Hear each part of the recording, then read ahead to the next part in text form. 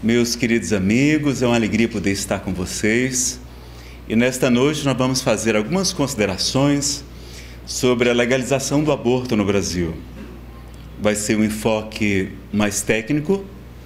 Nós vamos trazer aqui os argumentos principais que nós ouvimos dos ativistas do movimento da cidadania pela vida Brasil sem aborto e também fazer alguns contrapontos, falar dos 14 mitos e verdades sobre a legalização do aborto. Então a gente sabe e não critica, pelo contrário, exaltamos todas as conquistas que a humanidade obteve na área dos direitos humanos. Viemos de períodos muito tenebrosos, de muita guerra, de muita escravidão, não é? A gente lembra que antigamente se faziam sacrifícios humanos.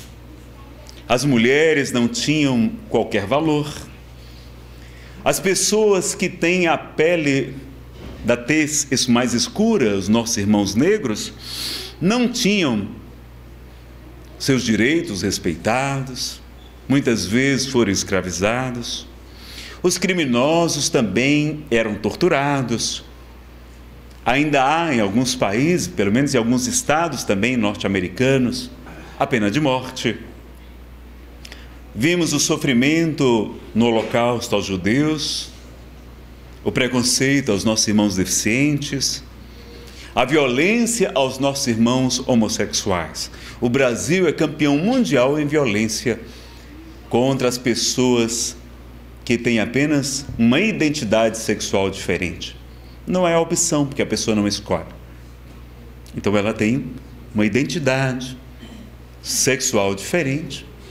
E por conta da, do preconceito, são vítimas de bullying, de violências muito graves. Quantos, não é? Então eram considerados inferiores, enquanto que o homem branco, o patriarca, etc., não só na cultura judaica, mas em todas as culturas, gregas, romanas, egípcias, todas as culturas, era assim. Então vamos avançando. Então não havia direito à liberdade, direito ao trabalho, não é remunerado, direito ao voto também.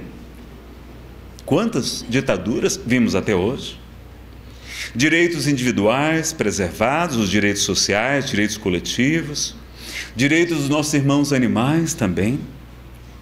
Hoje já temos lei contra os maus tratos, né, os animais, tem leis de proteção contra os maus tratos.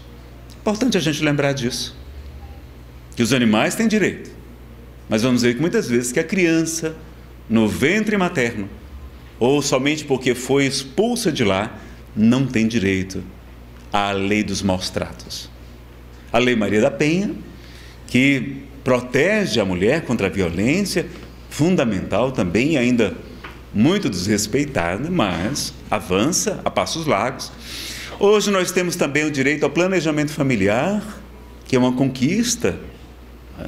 Inúmeros métodos contraceptivos diferentes, pílula anticoncepcional, DIU, apesar que alguns DIUs são considerados abortivos, há um, uma discussão ainda no meio acadêmico sobre esse assunto. Nós sabemos também não é, que muitas vezes o, objetivo não é esse, mas o objetivo é de, de contracepção, é de evitar a, contra, a, a, a gravidez. E hoje temos até a chamada pílula do dia seguinte, que apesar de, na maioria das bulas delas, dizer que ela não é abortiva, ela não é considerada abortiva porque o critério que foi utilizado é um critério inadequado.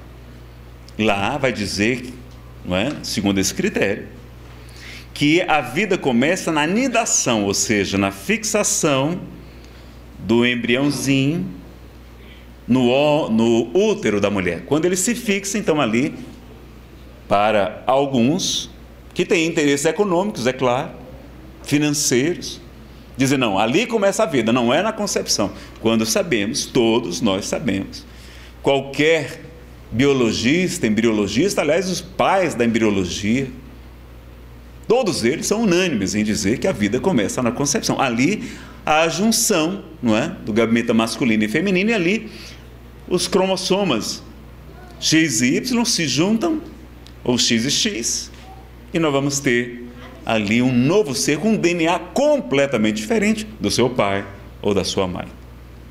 É um, outra, um outro indivíduo. Tanto que o embrião, o bebezinho, tem que produzir imunossupressores, substâncias para enganar o sistema imunológico da mãe, porque ele é um corpo estranho e para não ser expulso, ele produz substâncias logo no início. O coraçãozinho já começa a bater nos primeiros dias de vida, acho que é com 21 dias, salvo melhor juízo. Eu não sou especialista da área. E a gente vai ter então aquele bebezinho se formando, não é? E tendo que enganar o corpo da mulher. Então a gente vai ver que o que acontece é que cada vez mais os direitos humanos são ampliados. E segundo Flávia Piovesan, a concepção contemporânea de direitos humanos caracteriza pelos processos de universalização e internacionalização desses direitos. Ou seja, a tendência é que cada vez a gente tenha mais direitos humanos.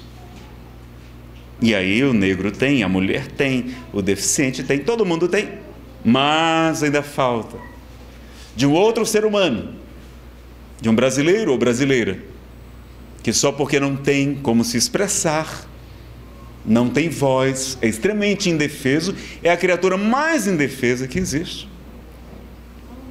Não tem ainda, como deveria, na prática, direitos humanos. Então vamos ampliar esses direitos. Não é? A gente já tem, então, a proteção até ao ovo de crocodilo. Se você destruir um ovo de crocodilo, um filhote de crocodilo, você é são crimes muitíssimo graves. Há crimes contra a fauna e contra a flora que são inafiançáveis, inclusive. Por que, que o embrião humano não deveria ter também? Ele é pior do que um crocodilo? Ah, não, mas aí a questão também é a discussão jurídica. Sim, mas no direito a gente sabe que para suprimir uma antinomia entre direitos, temos que ver o direito que é mais fundamental, que é mais importante, que antecede. Então o que é que deve prevalecer? O direito à vida ou a autonomia da vontade da mulher que carrega no seu ventre um outro ser humano? Não, a mulher pode escolher. Eu tenho, eu sou a favor da escolha da mulher. A mulher pode escolher ter relacionamentos sexuais ou não. Ela pode escolher qual método contraceptivo que ela quer utilizar, se é o, a, o preservativo masculino, enfim, os vários e vários métodos, né? É, anticoncepcionais injetáveis, etc. Então não faltam métodos anticoncepcionais. Ela pode escolher utilizar ou não Inclusive, quando não usa, não faz o chamado sexo seguro, ela arrisca-se a contrair doenças venéreas sexualmente transmissíveis. Então, inclusive a AIDS, que é um flagelo que temos visto para a humanidade. A sífilis voltando também com toda força, porque muitos parceiros não querem utilizar o preservativo masculino, a camisinha, porque reduz não é, um pouco a sensibilidade então eles e as mulheres acabam se sujeitando a isso. Não deveriam. Então ela tem o direito, não, eu não quero ter filho, não vou fazer relação sexual, ou então vou fazer utilizando tabelinha, qualquer que seja o método, faça o método. Mas depois que a criança é gerada, aí ela não tem mais o direito de escolher a vida da criança, não lhe pertence. Esse é o nosso entendimento. Agora, para alguns, a criança, como não se expressa, como ela não tem vida de relação, como ela não fala, não tem, não é ainda como se expressar, é não, isso aqui. Então vamos ver aqui hoje, inclusive, cientistas que vão defender o seguinte. Deixa eu ter aqui. Isso aqui está mais na frente. Deixar para falar daqui a pouquinho. Mas tem cientistas que defendem que se a gente pode matar a criança dentro do, da, do ventre da mulher, Seja porque a gente não tem condição, acha que não tem condição financeira, seja porque o momento não é oportuno, seja porque a criança traga alguma deficiência física ou mental. Esses cientistas que escreveram o artigo, foi publicado em revistas de grande respeito acadêmico, isso não, então, Não faz nenhuma diferença. Se não quer a criança, se a criança é um estorvo, pode matar dentro da barriga ou fora da barriga. Depois que nascer, pode matar. E eu achei muito coerente. Eu achei, olha, essa pessoa está sendo honesta. Qual a diferença? É porque dentro da barriga a gente não vê? A mulher não vê, ela fica sedada, então ela não vê assassinar a criança. Ou ela mesmo não pratica. E depois que nasce, não, não, agora que está vendo o bebezinho, não, agora não pode. Então, esse cientista não. Se, se o argumento é porque está sedado, vai atrapalhar a mulher, que essa vida vai atrapalhar, tanto faz estar tá dentro da barriga ou fora dela. Vou mostrar aqui uns nomes deles que eu não decorei. E há também a parcialidade dos que defendem isso. O problema é que quem defende a legalização do aborto não está preocupado somente com a saúde das mulheres. Porque a gente vai ver que isso não legalizar o aborto não diminui a, materna, a mortalidade materna. Então o que é que acontece? São pessoas financiadas por ONGs, por partidos políticos, por regimes políticos. Nós sabemos que temos a Fundação Forte, que até bem pouco tempo parou agora. Fundação Rockefeller, Fundação MacArthur, o governo dos Estados Unidos da América patrocinava aborto em outros países. Donald Trump, em que pese todas as críticas que possamos fazer ao seu estilo, ele proibiu. E aí já estão economizando bastante dinheiro, porque o governo financiava não só nos Estados Unidos, a clínica principal, uma rede chamada Planet Parenthood, ou seja, é família planejada só que não é planejada, é assassinada, com milhões e milhões de dólares, que infelizmente o outro partido americano era a favor. Então ele, pelo menos, fez esse, esse ato de subir. O Canadá também financia. E estão discutindo agora se vão manter, se vão ampliar o financiamento para os outros países. Então vejam que o assunto é muito sério. Então, são pessoas que não são isentas. Quem está falando está recebendo dinheiro para falar.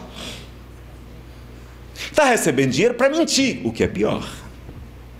Está recebendo dinheiro para enganar, para subtrair informação às mulheres. As mulheres têm o direito à informação, elas têm que saber todas as consequências do aborto, as possíveis consequências do aborto. Elas têm que ter o direito à informação. Mas não. Como eles querem legalizar, então vale tudo. Então vale mentir, como os próprios abortistas já reconheceram um dos maiores abortistas do planeta, o Dr. Bernard Nathanson, ele próprio fez mais de 50, 35 mil abortos, dirigindo uma clínica nos Estados Unidos. Mas depois que desenvolveram o ultrassom, a ecografia, que ele começou a ver as criancinhas, acompanhando inclusive abortos pelo ultrassom, que ele viu o bebê fugindo da cureta que ele viu na hora que a criancinha era alcançada pelo instrumento, abrir a boca como se estivesse dando um grito. Um grito silencioso. Este é o nome do vídeo. Vocês encontrem na YouTube, na internet. Procure lá, um grito silencioso. Dr. Bernard Neto. Basta botar grito silencioso, vai aparecer milhares. Tem até no meu canal no YouTube, Nazareno Feitosa. Basta vocês procurarem. Dublado para o português, inclusive. Espanhol, inglês, etc. E aí ele se tornou um dos maiores defensores da vida. E ele confessou no livro América que Aborta. E também no congresso em Madrid, em 1982, que eles multiplicavam o número de, de números de abortos nos Estados Unidos. Eles sabiam que não passava de 100 mil à época. Mas eles, esse número não era interessante, então eles diziam que eram um milhão de abortos por ano. E como a imprensa não ia atrás, não tinha, porque não tem estatística, nós não temos estatística no Brasil, nós não sabemos quantos abortos são. Nós temos estimativas, o que é diferente. Então tem, olha, não, mais ou menos deve ser isso aqui. Mas o número no Brasil também é hiperinflacionário. E aí veja o que acontece. Eles mentem e aí quando legaliza, a gente vê que não era aquele número. Aconteceu agora, há poucos anos, no Uruguai, recente. O Uruguai legalizou, infelizmente legalizou o aborto naquele país. E eles diziam que aconteceu mais de 30 mil abortos por ano, porque eles hiperinflacionam o número. Quanto foi que deu no primeiro ano? 3 mil abortos. Agora, todo ano aumenta lá. 3.600, 4 mil. Todo ano. E todo país que legaliza aumenta. Você sabe por que não aumenta mais? Só não explode mais porque hoje já explodiu de outra maneira, usando a chamada pílula do dia seguinte. que normalmente, nem sempre, não é 100%, porque às vezes não houve a fecundação, mas normalmente ela é, provoca o abortamento, ela é abortiva. Só não está na bula porque eles consideram concepção a, a, a vida a partir da nidação e não a partir da concepção, que é o correto. Então, importante ressaltar isso. E aí, todos os países que legalizaram aumentou. Assistam ao vídeo da doutora Isabela Mantovani. Ela é especialista em saúde pública. Não é a sua formação original. Mas ela traz números de vários países mostrando. E vai mostrar que, ao contrário, países como o Chile, onde é muito restrito fazer aborto, quase não há opções para fazer aborto, se reduziu muitíssimo a mortalidade materna. Com que? Com pré-natal decente para as mulheres, com acompanhamento médico, com condições de nascerem aqui no Brasil, as mulheres morrem a causa materna, é porque não tem onde nascer crianças aqui no, no Distrito Federal nascendo com paralisia cerebral. Por quê? Porque demora mais do que era a hora para nascer, porque não tem leito. Acho que o caso mais recente vocês devem ter visto. Estava tendo um parto, jogaram o menino junto com os panos e caiu dentro de um, de um balde bem grande que estava lá no, hotel, no, no hospital. Por quê? Porque no lugar que era para ter seis partos, estava acontecendo 15. Então não tem, as brasileiras não têm onde dar luz a seus filhos estão morrendo por causa disso. Isso é que causa a morte da mulher. Ou depois o puerpério, que é aqueles 40 dias depois do nascimento do bebê, que é também um período crítico. Quando você investe, como o Chile fez, em pré-natal, em parto, o parto sobretudo humanizado, que é o melhor ainda, não é? E no puerpério, a mortalidade despencou. Enquanto que outros países que legalizaram, como é o caso da Índia, a Índia legalizou faz muitos anos, não foi agora não. Muitos anos que a Índia já dá para saber. A mortalidade materna na Índia é altíssima. Por quê? Porque não tem prevenção, não tem pré-natal, não tem parto decente, não tem condição higiênica. E as crianças morrem. É, morrem 200 mulheres para cada 100 mil nascidos. É um número absurdo. E lá é legalizado. Então não é legalizar o aborto que resolve o problema da maternidade moderna. O que resolve é investir em saúde da mulher, que infelizmente o nosso sistema de saúde público no Brasil, vocês vão de convir comigo, que é de péssima qualidade. Em regra é assim. Há lugares ali que uma especialidade é boa, faltam pediatras. O problema né? não tem pediatra, ninguém quer ser pediatra. Então é importante a gente se saber disso, mas isso não é divulgado. Por quê? Porque isso não interessa, porque não vão ganhar dinheiro como estão ganhando dinheiro como médicos vão ganhar dinheiro fazendo abortos, como clínicas, como hospitais e como pessoas que são financiadas. Tem palestrantes que falam, não, eu sou financiado pela, pela Fundação Rockefeller. Eu já assisti no Senado Federal um senhor e ainda veio dizer que a pílula do dia seguinte não era abortiva, na frente da gente. Bom, aí tem o apoio do governo, aqui esse slide está antigo, né, o governo anterior, o governo da, da da presidente Dilma, governo, os governos de esquerda, em regra, não é, têm ideologia de, de combate às religiões e são normalmente a favor do aborto. Tá? Então, as causas chamadas feministas, mas não é toda feminista que é abortista. Feministas que, claro, e devem e devemos continuar lutando pelo direito das mulheres.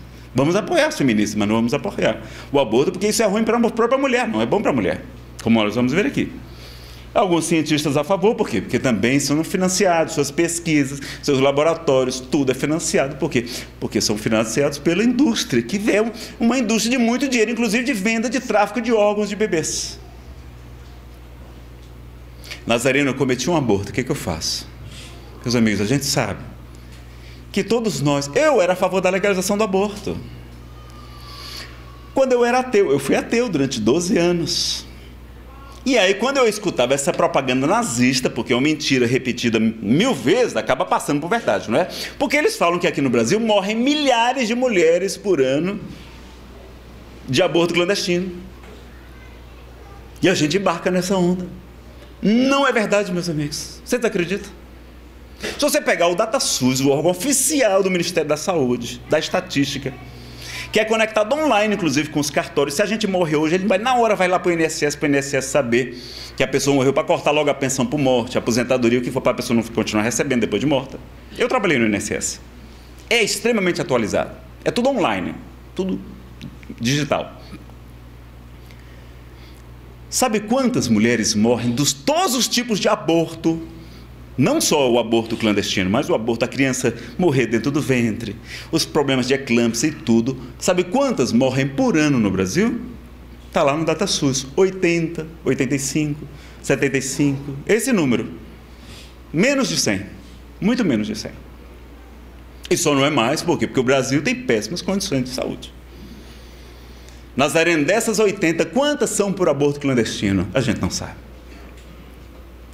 Mas a doutora Marli Virginia, obstetra, pesquisadora da Secretaria de Saúde daqui do GDF, ela fez uma. Não, ela vai. Eu vou pegar aqui um caso, pegou o ano 2006, aí foi atrás de todos os casos, foi um por um, pesquisando. Sabe quantos foram mortes por aborto clandestino em todo o Brasil naquele ano, 2006?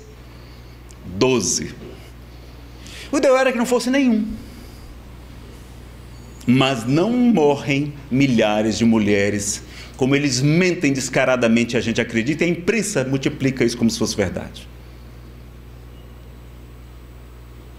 Não são milhares, são 10, 12, 8, 20. A gente não sabe direito. Mas não são milhares. Isso faz muita diferença. Agora, eu conheço jovens que já fizeram 11 abortos. Modelos, bonitas, lindas, né?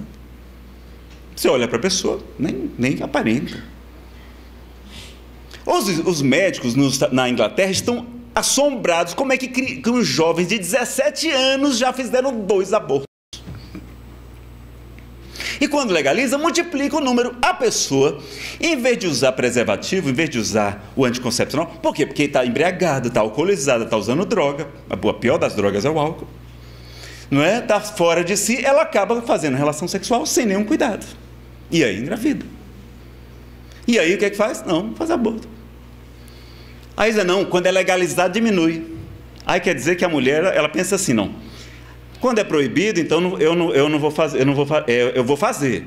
Não, mas agora que legalizou, não vou fazer mais não. Pelo contrário, vira um lugar comum. As pessoas usam como se fosse um anticoncepcional. Só que não é anticoncepcional.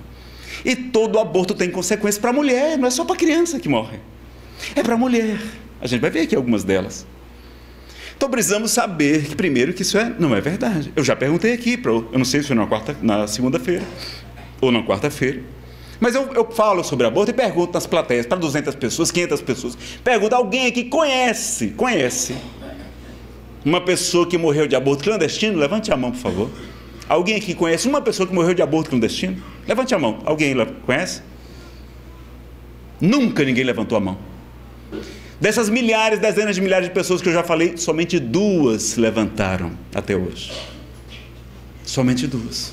Se fosse verdade, as nossas famílias, todos nós tínhamos na nossa família uma prima, um sobrinho, alguém que tinha morrido de aborto clandestino. Se fosse milhares, como eles falam. Todo, não era assim, não é verdade? Todo, mas a gente não vem. Por quê? Porque não é verdade.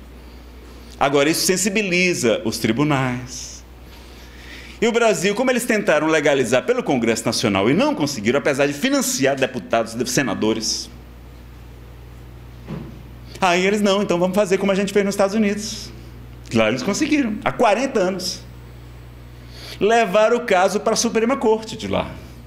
E aí, com essa história que morrem milhares de mulheres por ano, que é que o Supremo fez de lá? Vai fazer o que o daqui está querendo fazer. E vai fazer. Se a gente não tomar uma providência, eles vão fazer. Eles vão fazer o que estão fazendo já, usurpando a competência principal do poder legislativo, que é legislar, de fazer leis. Eles estão mudando a lei agora. Não, não é mais, não é mais. Não, a lei não é mais. Não, agora não é mais crime, não. É legal fazer aborto no Brasil até a 12 segunda semana. Não é legal fazer aborto no Brasil se a mãe teve zika. Aí, mesmo que somente 1% das crianças tenham microcefalia, não, ela tem o direito de matar a criança, porque a criança pode nascer com deficiência física ou mental, a microcefalia. Mesmo que você só descubra a microcefalia no quinto mês de gestação, não dá para descobrir antes. Ou seja, vai fazer um aborto tardio, só vai saber quando está no quinto mês super perigoso para a mulher. Além da criança estar completamente formada, né? praticamente toda formada, já dá até para sobreviver com cinco meses. Então a gente tem que saber e impedir isso. E os maiores especialistas em direito, professores de direito constitucional, todos vão dizer que onde tem o tribunal fazendo leis, eles erram tanto quanto os, os, os legisladores, porque são humanos também.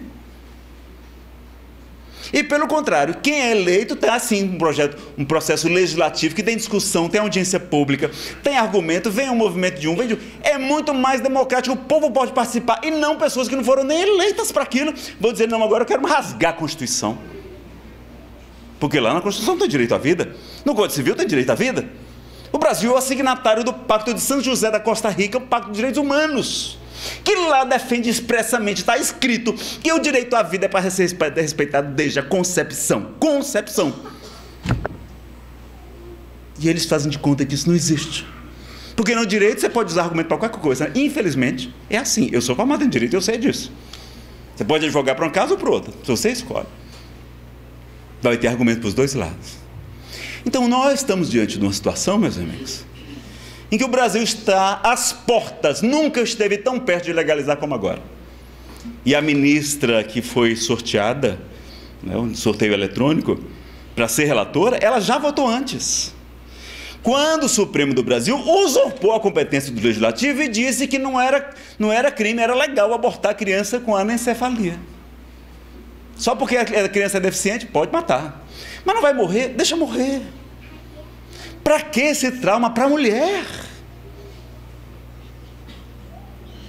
Nazarena cometia um aborto. Eu sou da opinião de que a caridade cobre a multidão de pecados, como está na, na citação bíblica. Como Jesus fala, porque muito amou, seus pecados foram perdoados. Cometeu um aborto? Tem uma criança. Não, não posso mais, passei da idade. Então, adote uma criança. Se todas as classes médias e ricas do Brasil adotassem uma criança, nós não tínhamos tanta criminalidade, nós não tínhamos tanta drogadição, porque nós temos, porque nós temos crianças abandonadas. É só a gente adotar. Podia dar um desconto em imposto de renda para as famílias adotarem, um desconto melhor. E quem adotar valia a pena. Pronto, aí pronto. Aí não tinha mais criança abandonada.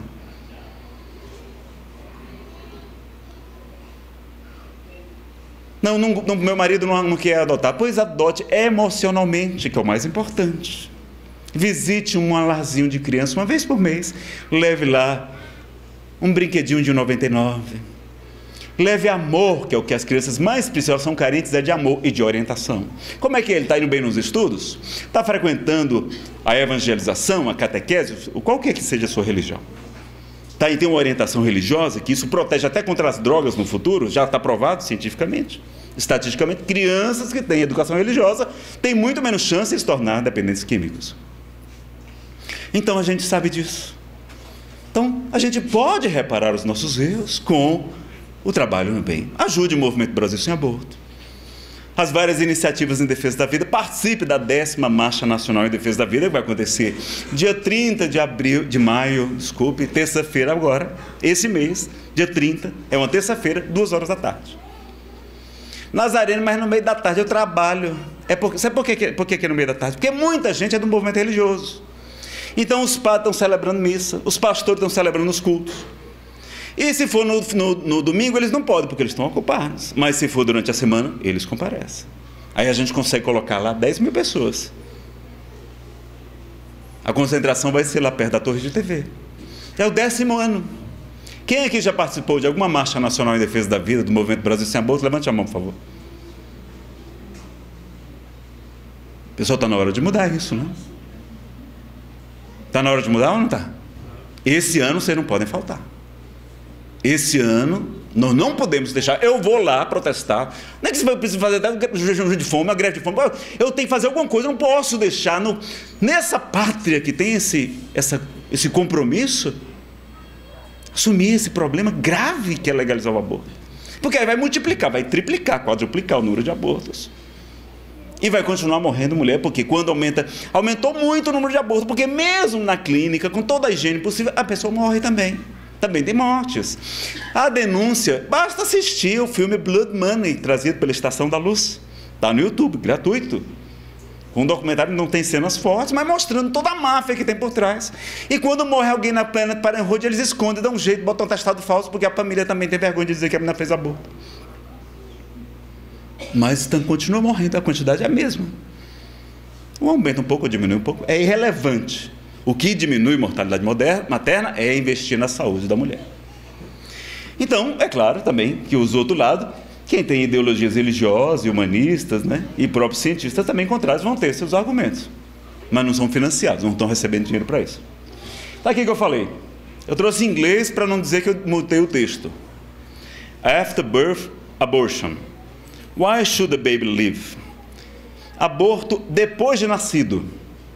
Por que, que os bebês deveriam viver? Os autores são Alberto Jubilini e Francesca Minerva. Aí eles vão dizer: tá aqui, ó, o aborto é largamente aceito por várias razões que não tem nada a ver com a saúde do bebê. Mostrando que, primeiro, ambos os fetos e os recém-nascidos não têm o mesmo status moral das pessoas atuais, ou seja, não têm vida de relação, são, não são, são nada para eles, são um amontoado de células. Dois, o fato de que ambos são potencialmente pessoas é moralmente irrelevante. E três, a adoção não é sempre a melhor maneira de, do, das pessoas da atualidade. Vocês perdoem que o meu inglês é lá do Ceará, não é grande coisa, né? Os autores arguem que o que a gente chama, depois de nascido aborto, matar um recém-nascido, devia ser permitido também. Em todos os casos onde o aborto é permitido, incluindo os casos onde o recém-nascido é deficiente. Esse é avanço? Isso é modernidade? A Islândia acabou com a síndrome de Down lá. Mas você sabe como é que eles acabaram com o mongolismo lá? Abortando todas as crianças com síndrome de Down. Nenhuma criança, todas elas são abortadas. É a Dinamarca diz que não, em 10 anos eu vou alcançar essa meta também. São muito desenvolvidos, não são? Aí aqui a conclusão deles também, tá? Então eles defendem que, com as mesmas razões que se justifica o aborto, também deve justificar a matança das, das crianças em potencial. São pessoas em potencial, não são pessoas para eles ainda não. Quando está numa, numa idade de recém-nascido. Então para eles isso aqui, estão sendo coerentes. Não, se pode matar dentro do ventre, por que não pode matar fora? Está perfeito o raciocínio. É porque a gente não raciocina. Não é? Então nós não podemos omitir as consequências do aborto, as consequências da legalização. Não podemos usar mentiras. As pessoas usam mentiras, usam palavras diferentes, eufemismos para mentir. Isso aqui me mata. Isso me deixa com raiva mesmo. Não, não é aborto, não. É antecipação terapêutica do parto. É interrupção, não é aborto, não. É interrupção antecipada da gravidez. Ai, não é aborto, não? Que você não fala aborto? Seja honesto. Aí a pessoa tem a escolha, nós já falamos aqui, você pode escolher fazer ter o bebê ou não. Não existe aborto sem morte. A mortalidade no Brasil, já falamos isso aqui. Não chegam a 100 por ano as mortes maternas em decorrência do aborto geral, clandestino é muito menos. E como é que é esse negócio de redução de danos? O bebê está perguntando aqui, como é que é o negócio de redução de danos? Para ele não tem redução de danos, todo aborto é fatal para o bebê. E é uma escolha livre? A doutora Lenise Garcia, presidente do movimento da cidadania Brasil Sem Aborto, vai dizer que 80% dos abortos são decididos pelo homem. É pelo namorado, pelo marido, pelo companheiro, pelo amante, pelo patrão ou pelo médico. Não é pela mulher. Agora a mulher carrega as consequências. Às vezes a mãe da mulher não quer que ela tenha um filho.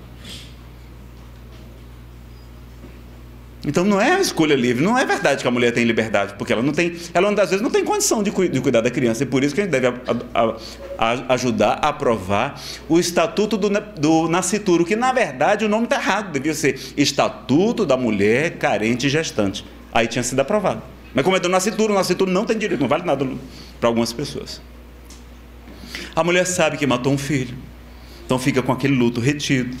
Não é? Vários livros sobre sobre pesquisa. Então, 22 projetos de pesquisa com 877 mil mulheres, 163 mil fizeram aborto. Os resultados indicam consistentemente que o aborto é associado com moderados a altos altamente acrescentados riscos de, de, problemas psicológicos subsequentes ao procedimento. É chamada síndrome pós-aborto, SPA.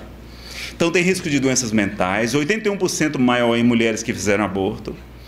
10% dos problemas mentais podem ser diretamente atribuídos ao aborto, 34% mais ansiedade, 37% mais depressão, 110, duas vezes mais casos de alcoolismo, 220% mais de uso de maconha e muito mais casos de suicídios.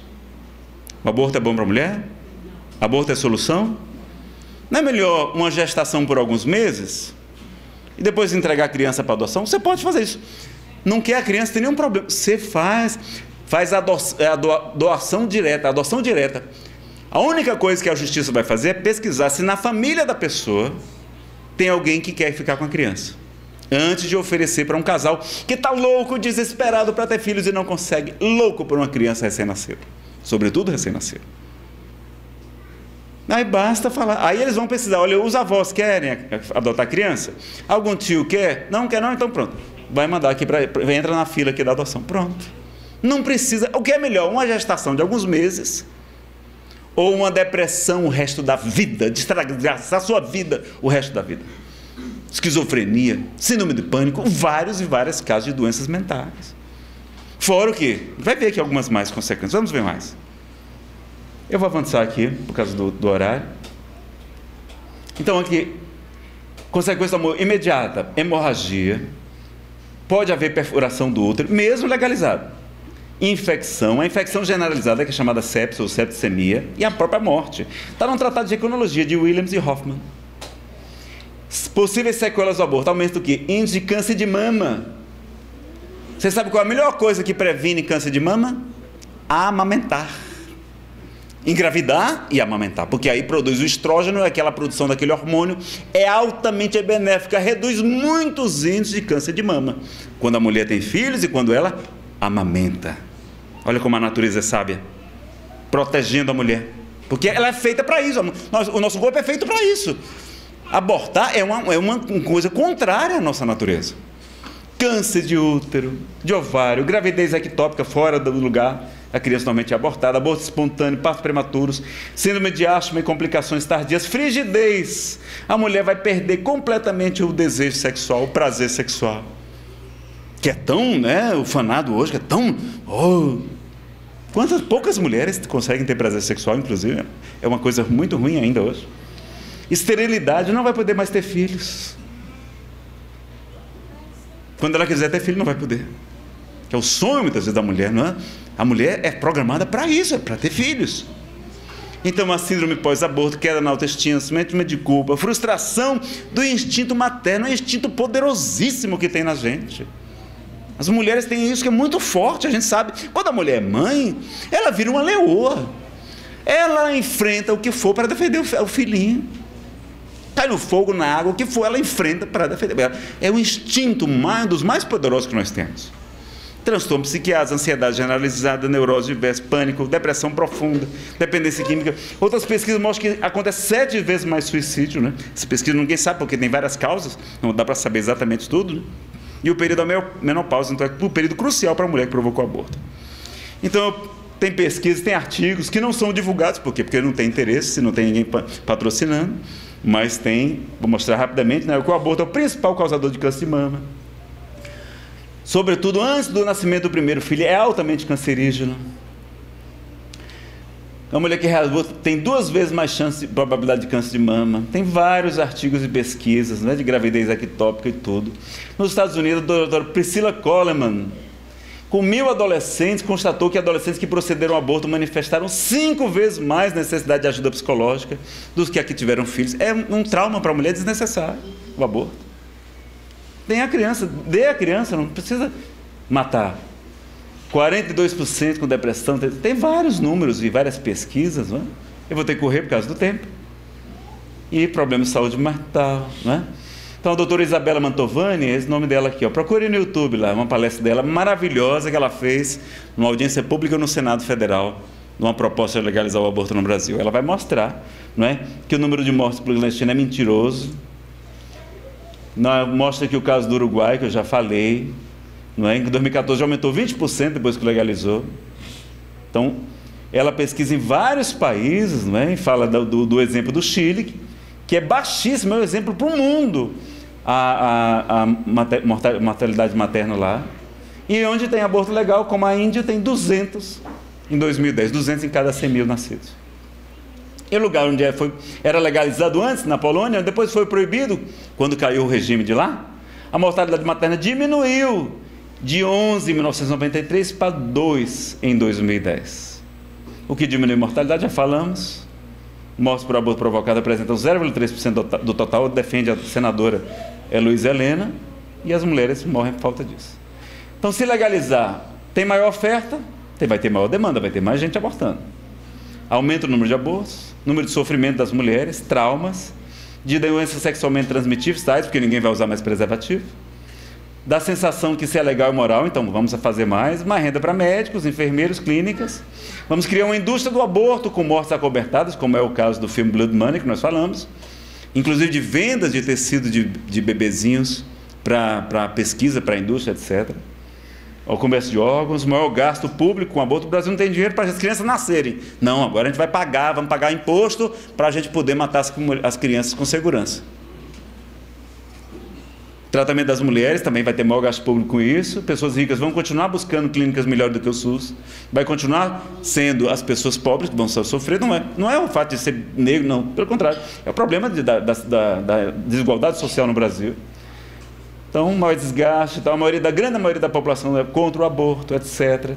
E vai até diminuir o dinheiro das ONGs, o pessoal que está lá nas ONGs, que recebem dinheiro, e vai se legalizar, eles vão perder dinheiro, né? Tem que ficar só tentando, né? Eu vou ter que correr um pouquinho aqui, o processo seria legal. O Brasil recebe milhares de imigrantes estrangeiros, mas não tem, mas não pode acolher as suas crianças brasileiras que fogem da morte, nem as suas mães. A gente recebe, né? Milhares de haitianos, já venezuelanos também estão sendo acolhidos também. E isso está certo, não está errado não. É nosso dever. Então o que precisamos fazer, não é? Eu vou avançar aqui porque tem lá no, no. Então quer dizer, um bebezinho aqui tem um bebezinho com 10 semanas. Até a décima segunda não é um ser humano, não. O que é isso aqui? Se não é um ser humano, é o quê? Que definição a gente vai dar para isso? É um bebê, é uma pessoa. Tem pesquisas mostrando que as crianças sentem dor, várias pesquisas né, controversas, ninguém sabe direito, não tem como, ela não fala. Mas com 21 dias de, vida, o, o embriãozinho, o blastocisto, já começa a produzir neuropeptídeos, que são as moléculas do sistema de comunicação do sistema nervoso, endócrino e imunológico.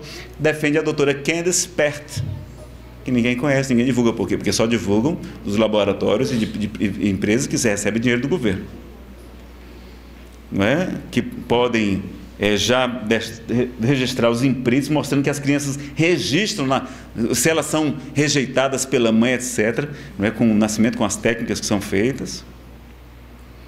E ah não, ah, não ela não sente dor. Até a 12 semana não tem o sistema nervoso, então não sente dor, então pode matar. Então vamos pensar? Bom, primeiro a gente não tem certeza. E mesmo que não sentisse, há várias pessoas que não sentem dor. Paciente em coma não sente dor. Sente dor? Não, não está lá desmaiado, inconsciente, completamente inconsciente. Paciente que usa morfina também, está usando morfina, também não está sentindo dor, não. Poder matar? Dá morfina, pode matar. Pode ser?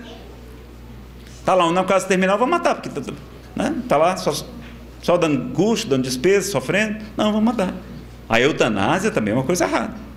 Nós defendemos, defendemos a vida a, a, desde a concepção até a morte natural. A distanase quer ficar prolongando a vida também. A criança não, a pessoa não tem mais como recuperar. Está um caso completamente perdido. Ela está precisando na hora de morrer mesmo. Chegou a hora de terminar o ciclo.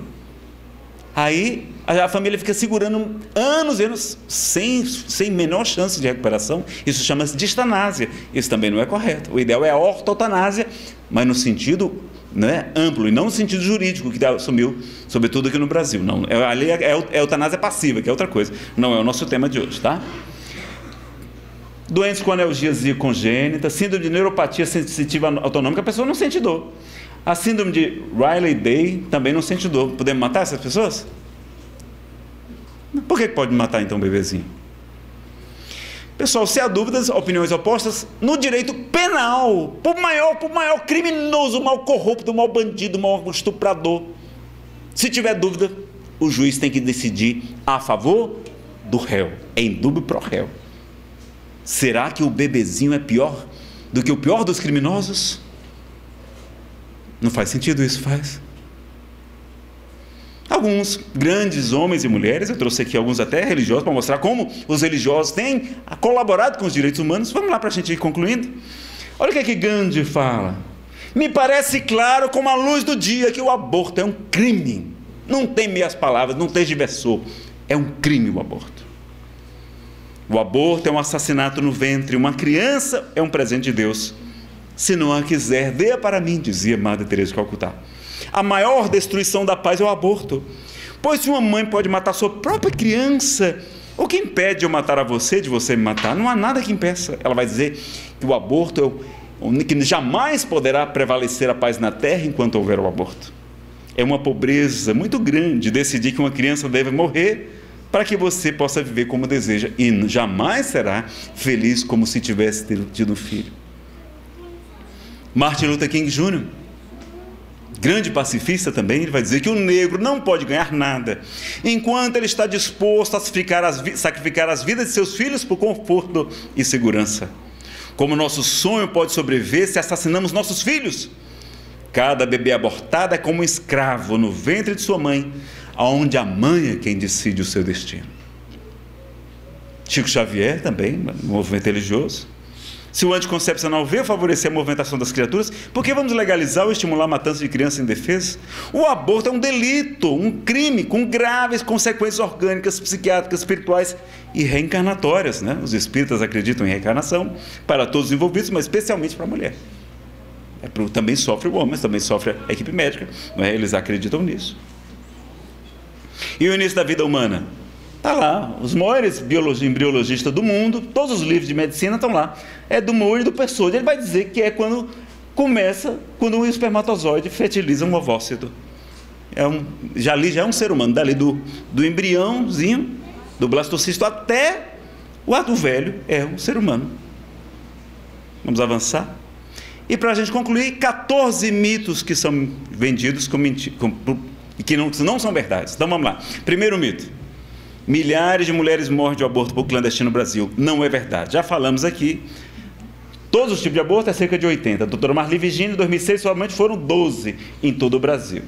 Não é? Se fosse verdade, todo mundo tinha nas nossas famílias pessoas que morreram por aborto. Se dois, ocorrem milhões de abortos no Brasil. Não é verdade.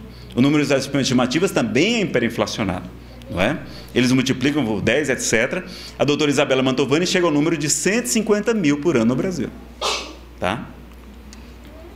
Mas é estimativa, a gente não sabe, não tem, não, não tem estatística, não tem censo para isso. O aborto é solução. O aborto, além de matar a criança, somente prejudica a mulher. Provoca aumento dos problemas orgânicos, psicológicos, psiquiátricos na mulheres, como já falamos aqui, né? dos cânceres, etc., psicológicos, psiquiátricos, o suicídio.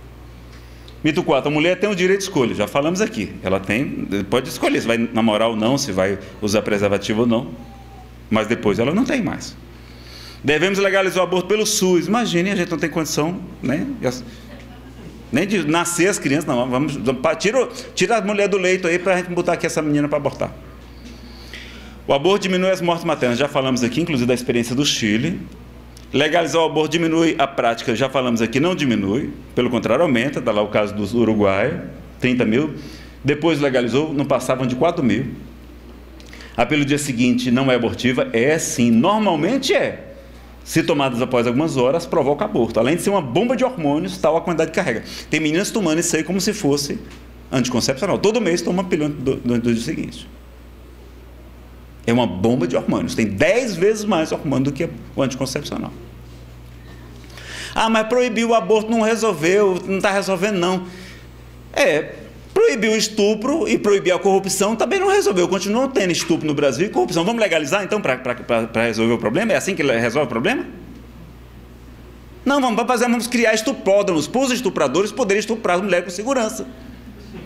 E vamos dar colete à prova de bala e fuzil para as crianças, porque esses adolescentes têm esse de menor, para poder matar em segurança as pessoas, sem eles poderem morrer. É assim que a gente resolve o problema? Não, não é mais, pronto, vamos resolver o problema da corrupção do Brasil. Pronto, não é, não é mais que não, pode corromper, pronto, está resolvido. Resolvido. É assim que resolve?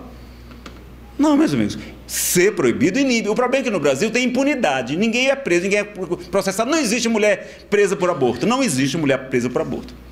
A não ser que ela já seja uma criminosa, já tem várias passagens policiais, aí sim, aí ela já não é mais primária, já não tem bons antecedentes, etc. Aí ela pode ser condenada. É uma pena pequena, porque ela vai ter que progressão de pena, que ela daqui a pouco responde de liberdade aqui que julgue, tem recorre para o tribunal. Não tem. E é se for primária, que é a maioria das pessoas. Não vai preso. Quando tem, é pessoas que estão têm donos de clínica de aborto, etc. Né? É bom diminuir a taxa de natalidade. No Brasil, vocês sabem que por que está essa história de reforma da Previdência também? É porque o povo não quer ter mais filhos. Aí está ficando o povo todo velho e não tem mais jovens, não tem mais gente trabalhando para contribuir. Porque a gente não quer mais namorar, não quer mais até fazer menino. E aí agora estão querendo aumentar, acabar com a aposentadoria da gente. Esse é o problema. Não é? Esse é o problema. É, é verdade, o povo está vivendo mais e não está tendo mais filho. Então tem que resolver. É ruim, é bom para o Brasil. É Estamos precisando de jovens, de criança para ter né, emprego e geração de, de, O aborto de Anicef preserva a saúde da mulher. Faz era um trauma sem necessidade. É o luto retido não vivenciado. E se a criança já vai morrer, logo vai morrer seis meses, dentro da barriga, recém-nascido, um ano, duas horas, cinco anos, três anos, como foi a Marcela Jesus Galante, dois anos e pouco, como a, Maria, a Manuela Duarte, também outros, vários, outros vários anos. É necessário abortar para salvar a vida da mãe. Esse tem essa opção no Código Penal, não é crime. Se a mulher estiver correndo risco de vida, você pode abortar a criança para salvar a mulher. Mas isso é raríssimo. Raríssimo, a gente tem tanta técnica, tanto recurso, que a criança pode nascer prematura, pronto, bota no teu Natal, ele vai, cinco meses, seis meses, ele cresce. Não precisa matar a mãe. Normalmente não precisa. Gestar uma criança deficiente físico ou mental prejudica a mãe. Não, o que, o que é mais traumático é ela cometer o aborto, não é? Desde Freud a gente sabe disso. Freud já falava disso há muito tempo. É adolescentes pobres e negros é que morrem por aborto. Pois pesquisaram. Fizeram um estudo pela Universidade de Brasília, que é a UNB, e o do, do Estadual do Rio de Janeiro. Foi publicado na revista Isto É, eu tenho ali a fonte, de que a grande maioria das mulheres que abortam tem entre 20 e 29 anos. A média é 25 anos, não é criança de 18, de 15, 16, não. A grande maioria trabalha, tem emprego, tem dinheiro, tem renda. Tem parceiro, é, é casado, tem um parceiro, tem um companheiro. Não é sua mãe solteira, não. E já tem um filho, já tem pelo menos um filho. O problema é que ela não usou o anticoncepcional direito, alguma coisa. E aí engravidou, e aí, como o marido não quer ter despesa, não quer ter trabalho aí, não, aí obriga a mulher para abortar. Essa é a grande maioria das mulheres que abortam. Não é essa história que é que é pobre, não. É mulher casada, tem renda, tem filho e tem marido. Isso aí foi pesquisado. Qual é a solução? Nazaré, vamos tentar com problema. Qual é a solução, para a gente concluir? Aprovar o Estatuto do Nascituro, do nosso querido deputado Luiz Bassumi e Miguel Martini, que é o Estatuto da Mulher Gestante, que protege, que auxilia financeiramente. A redação foi aperfeiçoada pela deputada Solange Gomes. E o deputado João Campos, aqui de Goiás, pediu pedido de urgência, está lá no plenário. Está o pedido de urgência para ser votado no plenário. É um projeto de 2007, 10 anos já parado. Responsabilizar o parceiro, que lá no Estatuto do Nascituro faz. Bem como os violentadores. Se for estuprada, vamos, é punir, vamos ter DNA, vamos saber, vamos, quem vai pagar? Tem alguém vai pagar. A gente pode, o governo fica pagando por um tempo, mas depois ele ressasse. Porque o pai, mesmo verdadeiro, vai pagar acolher as mães em condição de risco social. O Estatuto Nascidouro faz isso, psicológico, auxiliando em suas necessidades. Ampliar a rede cegonha, que tem tido excelentes resultados, a rede cegonha. Conscientizar a população sobre os métodos contraceptivos saudáveis, prevenção de doenças sexualmente transmissíveis e divulgar amplamente as várias consequências orgânicas, psicológicas e psiquiátricas negativas que o aborto pode trazer para as mulheres. E temos que aprovar uma PEC, porque o nosso direito é tão absurdo que a gente vai ter que provar uma, fazer uma emenda à Constituição para dizer bem claro qual é o direito à vida lá. É desde a concepção, porque se não tiver escrito assim, o Supremo vai rasgar a Constituição, como tem feito. Aí está lá. Temos a PEC, projeto de PEC, né, 164 2012, deputado João Campos e outros. E no Senado, a PEC número 29 de 2015 do senador Magno Malta e outros também, dezenas de, de parlamentares que assinaram. E vamos aprovar. Se aprovar a PEC, desde a concepção, pronto, resolve. O Supremo não mais vai rasgar a Constituição. E o mais importante, desmascarar essa mentira em forma de propaganda nazista de repetir-se uma mentira mil vezes até que ela passe de verdade, afirmando que se morrem milhares de mulheres por aborto clandestino no Brasil, quando isso não é verdade, meus amigos. Então fica aqui a nossa reflexão e o convite para vocês. Vocês podem encontrar esse artigo no meu site, nazarenofeitosa.com.br, com as devidas fontes. E só para um minuto só, agora perguntaram a Chico Xavier, uns espíritas aí que estão assistindo. E a legalização, perguntaram sobre a legalização do aborto para Chico. Não foi sobre aborto, não, foi legalização. Estuda-se no Brasil uma forma de legalização do aborto. Qual a sua opinião? O aborto é sempre lamentável. Porque se já estamos na Terra com elementos anticoncepcionais de aplicação suave, compreensível e humanitária, por que, que havemos de criar a matança de crianças indefesas, com absoluta impunidade entre as paredes de nossas casas? Isto é um delito muito grave perante a providência divina, porque a vida não nos pertence sim ao poder divino. Se as criaturas têm necessidade do relacionamento sexual para a revitalização de suas próprias forças, o que achamos muito justo, seria melhor que se fizessem sem alarme ou sem lesão espiritual ou psicológica para ninguém, que a mulher sofre lesões. Se o anticoncepcional veio favorecer esta movimentação das criaturas, por que vamos legalizar ou estimular? Porque quando legaliza, estimula o aborto. Por outro lado, podemos analisar que se nossas mães tivessem esse propósito de criar uma lei de aborto, ele está falando de legalização de aborto, no século passado, no princípio e meados desse século, nós não estaríamos vivos. Inclusive, Chico Xavier está no livro Entender Conversando, Emmanuel, da editora ID. Então, meus amigos, o que é que nós queremos para o nosso Brasil? É isso?